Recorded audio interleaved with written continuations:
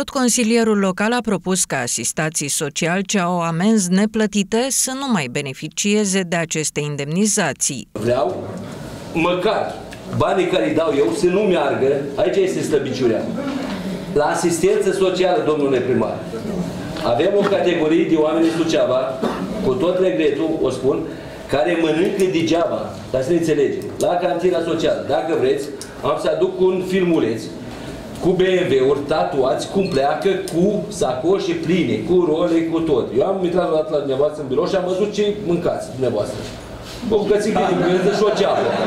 Păi dacă, auziți, dacă, dacă vă, dacă, îmi cer scuze, auziți, dacă mergem până la cantina de ajutor social, vineri și sâmbătă, să vedem ce fac cetățenii aia acolo, cum pleacă cu BMW-ul. Deci nu se poate. Luăm de acolo și mai dăm la școli. Vorbesc foarte serios.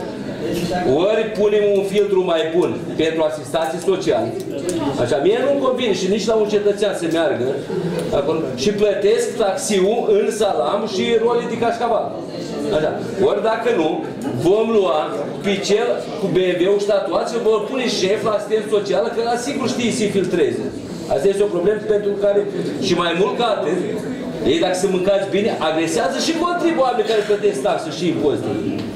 Și propun ca cei care uh, sunt asistați social și au amenzi de plătit sau nu și-au plătit datorele către primărie, să nu mai beneficieze de ajutor social. O chestie de bun simț.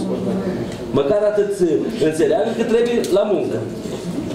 Și în ceea ce privește uh, amendamentele, nu am nimic, nu vreau să intru în conflict cu nimeni. Chiar dacă am de multe ori uh, o atitudine, nu dreptate, dreptatea este subiectivă.